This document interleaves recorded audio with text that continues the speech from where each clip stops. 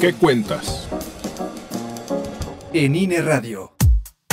¿Qué tal? Soy Carla Garduño y les doy la bienvenida a ¿Qué cuentas? Un espacio de la Coordinación Nacional de Comunicación Social en donde platicaremos con personalidades de diversos ámbitos sobre uno de los temas que tenemos en común, la vida en democracia. En este primer episodio nos acompaña Marcelo Lara, conocido sobre todo por su participación en Moderato, pero con una gran carrera musical y hasta gastronómica. Pues bienvenido a ¿Qué cuentas? Y primeramente quiero que nos digas quién es Marcelo Lara, por favor. Muchas gracias. Marcelo Lara hoy en día es un personaje que de repente ya no sé ni quién soy, porque hago tantas cosas que, me multiplico, duermo poco y, trato de hacer lo más que puedo. Soy originalmente eh, licenciado en comunicación por la Universidad Iberoamericana. Eh, fui gerente de una estación de radio que se llamaba Reactor, bueno, que se llama Reactor 105. Fui ejecutivo de disquera mucho tiempo. Eh, a principio de este siglo y fundé un grupo que se llama Moderato, entonces toco, también soy artista. Eh, tengo otro personaje que se llama Burgerman, donde hago reseñas de hamburguesas en periódicos y tengo un Instagram y un blog que se dedica a eso. Y también tengo una banda de blues que se llama Los Señores Blues Band y lo que se acumule el mes que entra de actividades.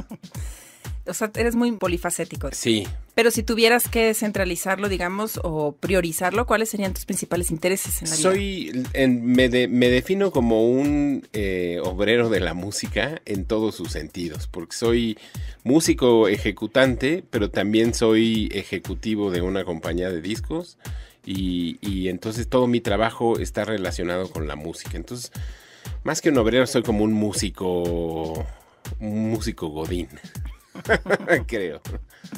¿Cómo te gusta vivir tu propia ciudad? Es decir, ¿cómo te relacionas y en dónde, en qué momento con tu comunidad? Yo, fíjate que eh, he tenido como varias etapas. Acabo de cumplir 50 años y mi vida ha sido como muy diferente por, por, grandes etapas, ¿no?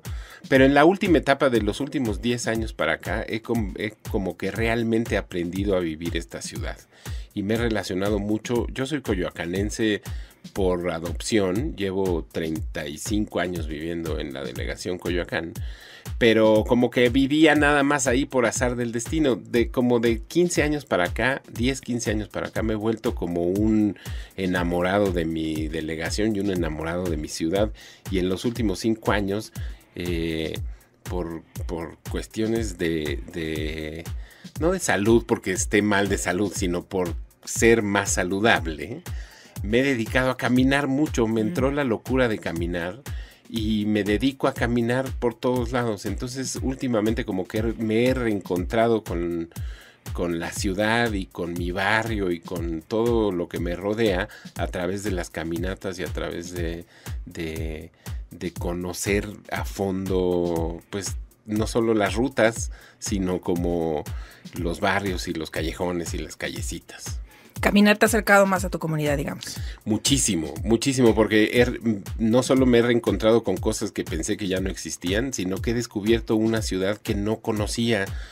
Eh, también hace como 15 años empecé a andar en motocicleta, entonces em, empecé a, conocer la ciudad también desde otro punto de vista. Entonces como que primero aprendí otro tipo de olores, otro tipo de imágenes y otro tipo de, cosas que la motocicleta, a diferencia del coche, te da, ¿no? O sea, nunca, uno nunca se hubiera imaginado que la calle huele mucho a gas por los, por los, por el transporte público que está lleno de gas, por ejemplo, ¿no? Entonces, como que he aprendido muchísimas cosas que no sabía de mi ciudad, tanto en la motocicleta y ahora en la caminada, todavía más, porque el ritmo de la moto es, es, es rápido pero la caminada sí es como muy pausada y como muy de observación y más en esta ciudad y en estos momentos que hay que estar como cuidándose las espaldas en todo momento, hay que estar como muy atento de lo que uno hace, ¿no? Entonces esta caminata y esta idea de caminar la ciudad me ha, me ha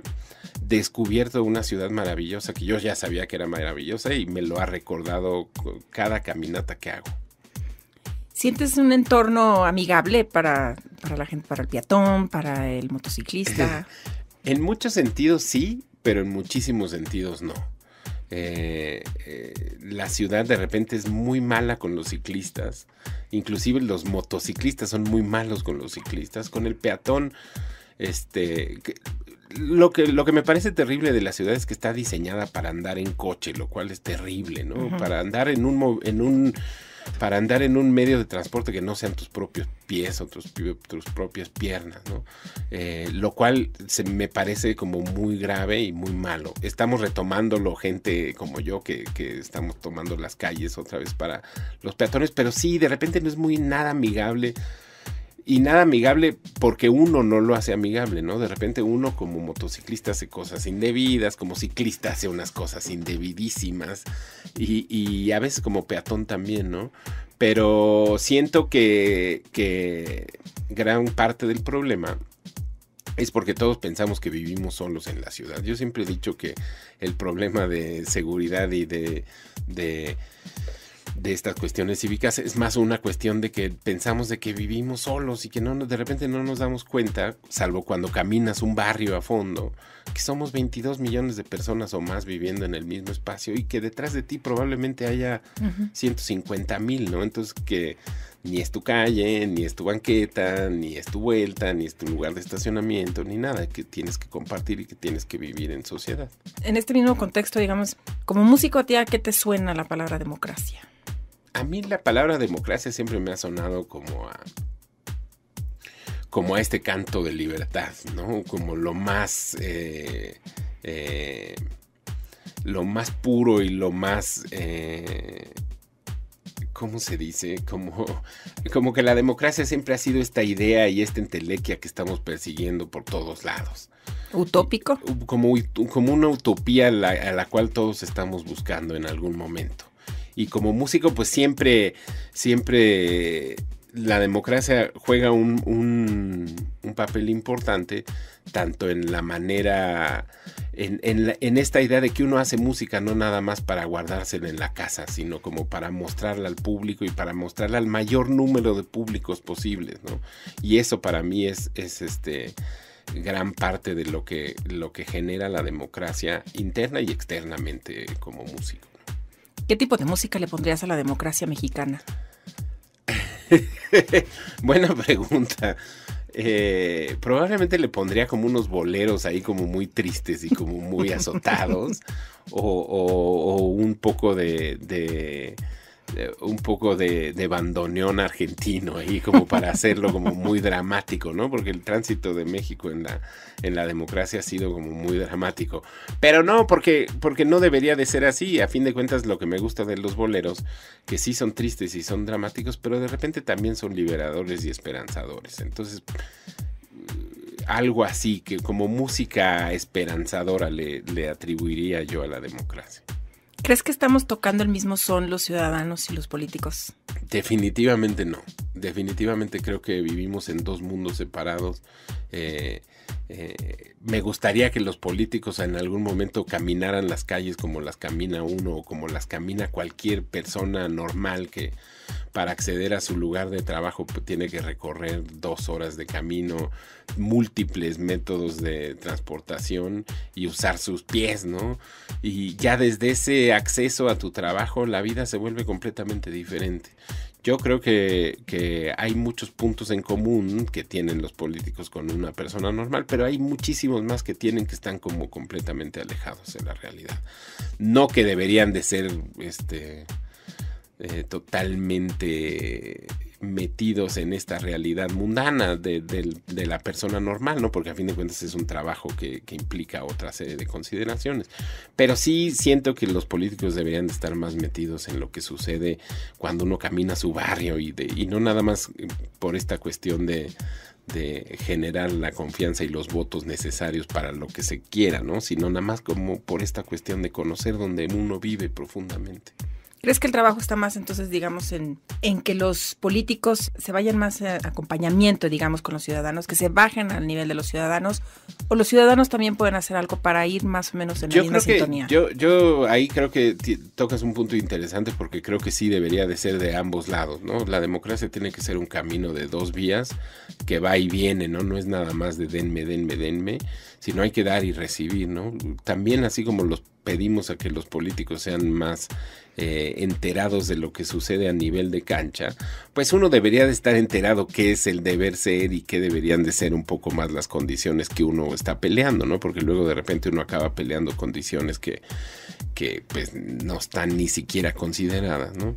Entonces yo sí creo que tanto los políticos deberían de bajar un poco más hacia la realidad cotidiana, como uno, como persona normal, debería de acercarse más a las instituciones y a los modos y a las legislaciones y a los a todo lo que marca como el ordenamiento eh, de la vida social y política.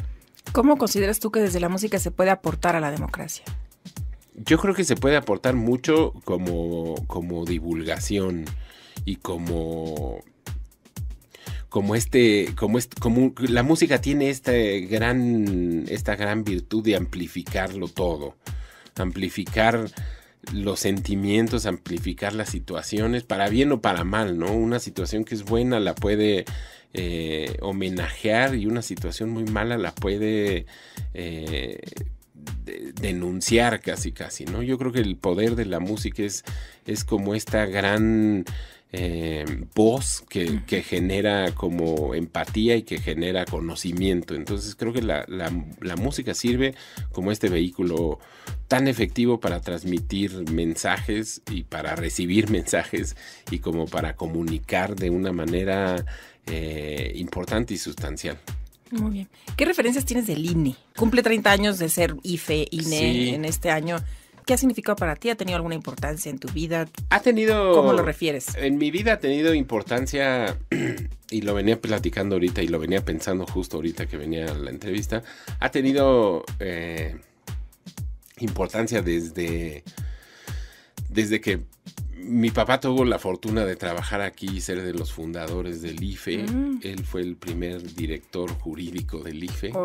Entonces siempre he estado como, sí, le tocó como la fundación y como todo lo legal de la fundación del IFE. Entonces fue un periodo interesante en su vida.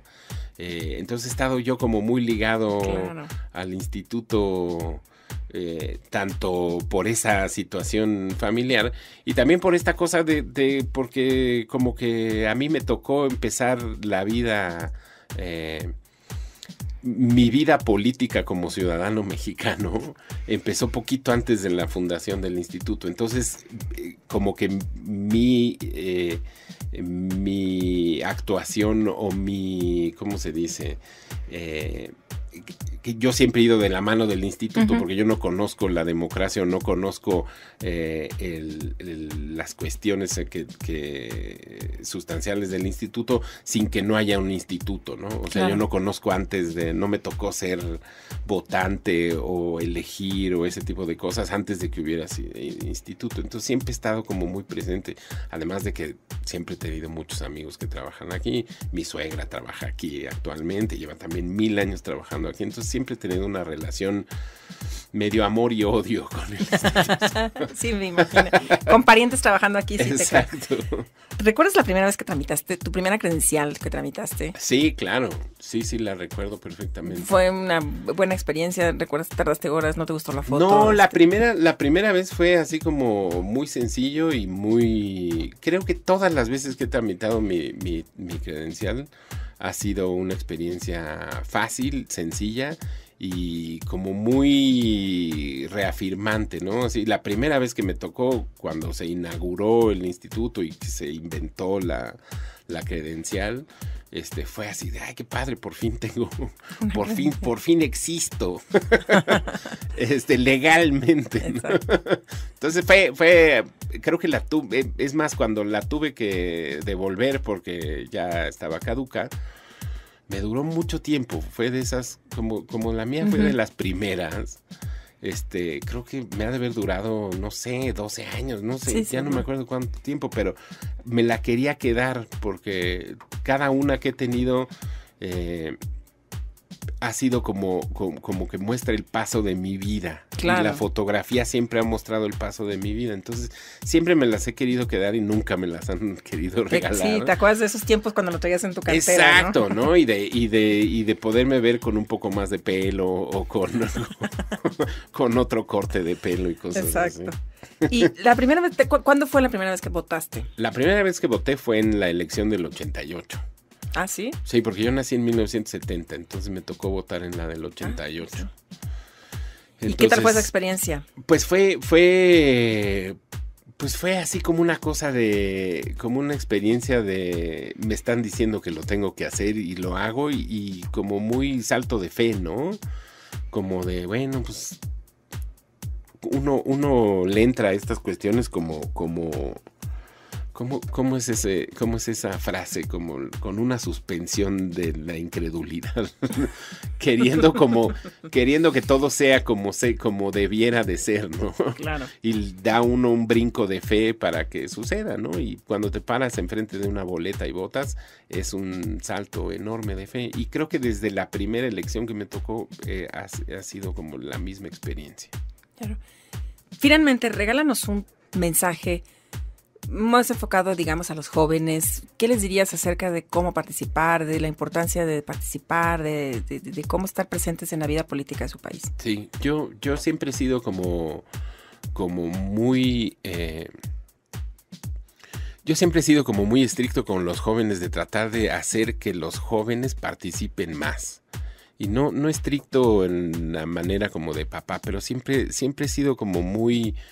Yo fui joven, o sigo siendo joven en muchos sentidos, y de repente como que me vale gorro muchas cosas. Y muchas cosas de las que me valen gorro no me deberían de valer gorro. Y eso es lo que trato de transmitirle a los jóvenes. Así como, como uno le importan cosas como muy cotidianas y muy materiales de su vida, hay cosas tan importantes como la democracia y como el ejercicio de los, del civismo y de todas las cuestiones cívicas por, por pertenecer a un país y a una sociedad y a una organización que uno no debe de, andar tan a la ligera con, con esas cosas, ¿no? Que debería de uno como joven comprometerse más y aprender más. Si así como uno exige las cosas, uno participara en las cosas, eh, otro gallo nos cantará. Entonces mi consejo para los jóvenes es, sí, sean jóvenes, pásensela muy bien, pero no olviden todas sus, sus obligaciones y sus prerrogativas, porque es ustedes los que van a tener que, que ejecutarlas en algún momento posterior. Claro. Marcelo, pues muchísimas gracias. Al contrario, muchas gracias a ustedes por invitarme. Hasta luego. Hasta luego. ¿Qué cuentas? Central Electoral.